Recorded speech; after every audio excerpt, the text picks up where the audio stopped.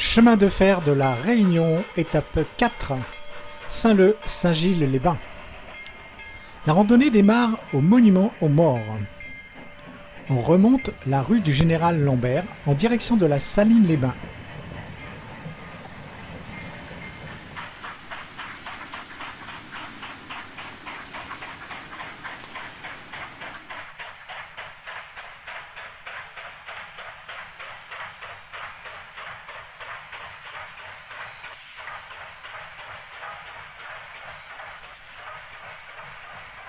Ensuite, on traverse la ravine de la Fontaine. Un pont ferroviaire existait à cet endroit, mais ce dernier a totalement disparu pour permettre de construire l'actuel pont routier. On traverse ensuite la ravine de la Chaloupe. Le pont routier actuel repose sur les culées et les piles de l'ancienne voie ferrée. Juste après le pont, une ruine, il s'agit d'un ancien four à chaud. On continue tout droit pour arriver au niveau de la ravine des Colimaçons. Le pont ferroviaire qui traverse cette ravine existe encore.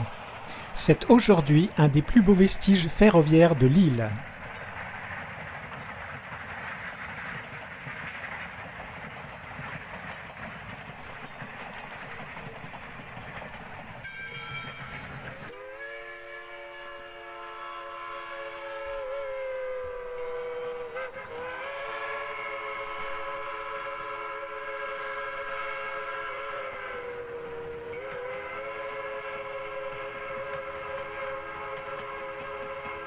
On monte sur ce pont pour traverser la ravine et l'on suit la piste qui démarre dans la continuité du pont.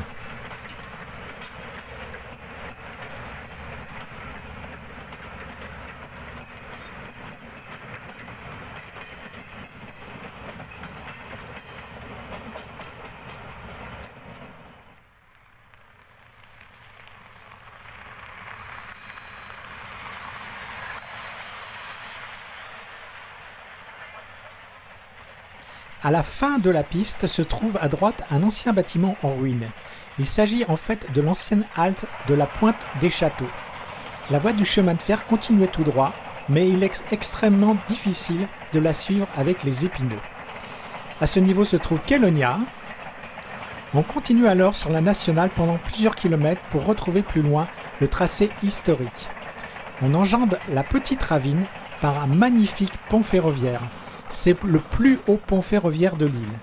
Il y a plus de 30 mètres de profondeur.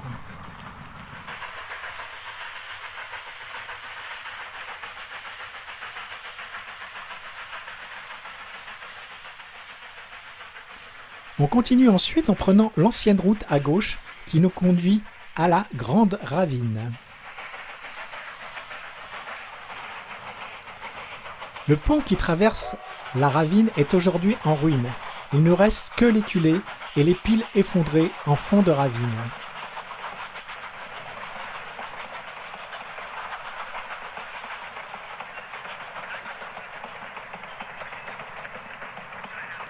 On traverse la ravine de la Souris Chaude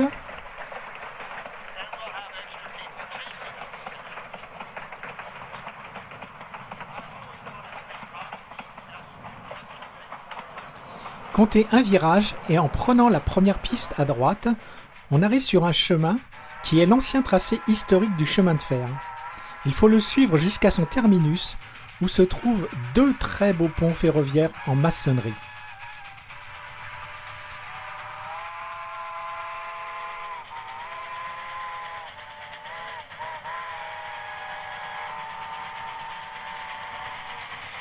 L'ancien tracé cheminait près de la pointe des Trois Bassins. Arrivé à la ravine des Trois Bassins, on prend le sentier qui descend vers la ravine pour aller voir les restes du pont. Il ne reste actuellement que les deux culées, une pile et une arche qui menacent de s'effondrer.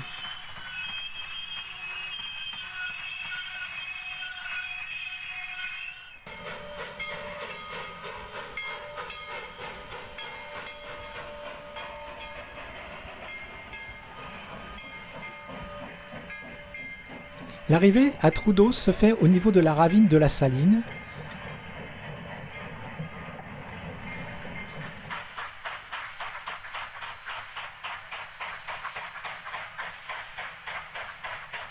Plus loin, rue du Lagon, au niveau de l'hôtel Luxe Saint-Gilles, à la fin de la rue se trouve un ancien poceau de la voie ferrée.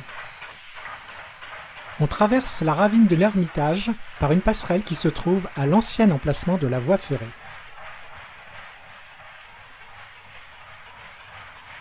La piste longe d'assez près la plage de l'Ermitage.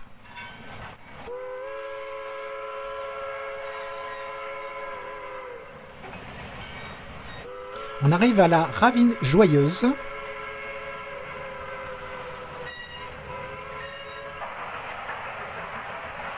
Après avoir longé cette piste assez longue,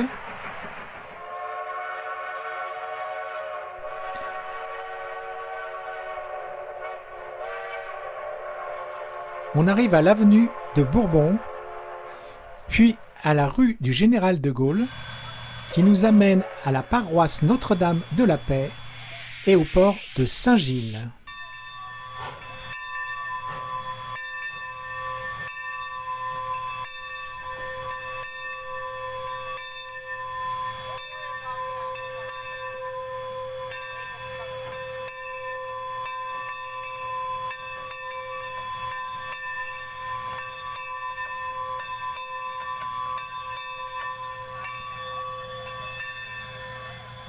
Ainsi se termine la quatrième étape.